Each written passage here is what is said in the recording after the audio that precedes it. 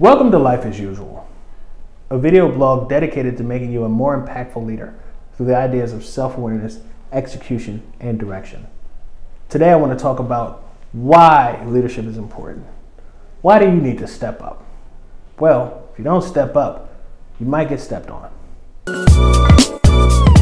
Please like, subscribe, share this amongst your teams. You might be wondering to yourself, what makes me a leader? Who am I to step up? Well, I will say in this complex world, there's not a lot of things you can take with you. Computer code's probably going away. That job lifting things, more than likely, is going away. Art, music, there's chances that all these go away. One thing they can't take away, and one thing robots can't do or a machine can't do, is lead. There's not going to be any leadership program because leadership is contextual. And that's the only thing that you can take with you. How do you define leadership? Well, to me, there are three tenets of leadership self awareness. How aware are you of yourself? And how are you aware of the mental models and ideas that you hold in your head, your biases that may affect your decisions? The more aware you are of that, the better off you'll be. Two, execution. You have to make things happen. You have to get out here and get things done. Three, direction. How clear can you see towards the future? And how can you communicate those ideas that you're aware about and that you execute on so that other people can understand and follow them? So it's self awareness, execution, and direction. Those are the three tenets of leadership. Are you born with it or is it a skill? There are some components of leadership I'm sure that people are born with. Some people have louder or deeper voices. Some people are born taller, which has been shown to make people feel like you have more leadership ability. But those things fall away rather quickly. Leadership is a skill, and it's something that you have to work on on a daily basis. You have to work on being vulnerable. You have to work on stepping up. You have to work on being heard. You have to work on being clear. These are all things you have to work on. Being aware, executing, and directing yourself and your team. These are skills you need to work on. So, no, you may be born with some things, but it's a skill that needs to be leveled up and worked on. What can you do to improve your skill? And how do you know it's getting better? Well, one thing you can do to improve your skill is do something. So, whenever I talk to people about leadership and people come up to me and ask a question of how can they improve their leadership, one of the biggest questions I ask them is, What's the last project they got off the ground?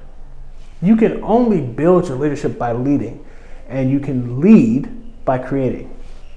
So, how do you improve that skill? Go create. Go start a project. Start a blog. Go work for a nonprofit. Go do something where you can pick up and lead people. You'll be able to apply some of the things I'm telling you and get better. How do you know you're getting better? As you get more self aware, you start asking yourself more questions. As you execute more, you start coming up with more ideas. And as you set direction, you'll see that the vision is becoming clear to other people. You'll be able to talk in stories more, and people will understand where you're coming from. If you notice those three things picking up, those three tenets of leadership, then you see yourself improving. So, how can you apply this to your life? How can you apply these three tenets of leadership? Well, self awareness is being aware that you have to be self aware. That looks like understanding your cognitive biases, that looks like understanding uh, how you feel in the moment. That means understanding some of your mental hangups. As you begin to understand more and more about yourself, you'll be able to execute and set direction better knowing how you feel. Execute. You have to go make things. Go start projects. Go do things. Go help people. Go help teams. Go intern for somebody. Go do stuff. Because the more experiences you have, the more ideas you'll be able to bring to bear on the projects and goals that you want to accomplish. Direction. Talk about your story. I encourage everyone to start a blog or YouTube channel or podcast to talk about what they're going through right now, what thoughts they have on their mind. Being able to communicate what's happening in your life will help you tell that story to other people. And you'll be more clear about how you think of things so that when it comes to it, you're able to knock it out the park. It's important to make note that all three of these things are practice.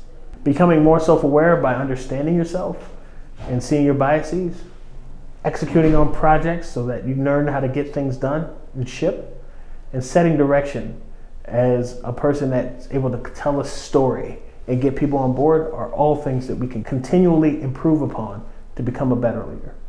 If you found this topic of leadership interesting, take a look in the description box and you'll find a couple of books that have helped my understanding of how to become a better leader and some of the pitfalls that I've found across the way.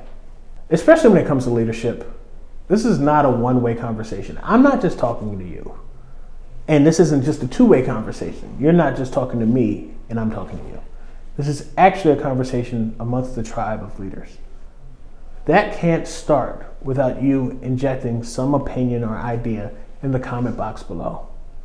Talk about some of your own personal stories and help engage all of us into learning how to be a better leader from you.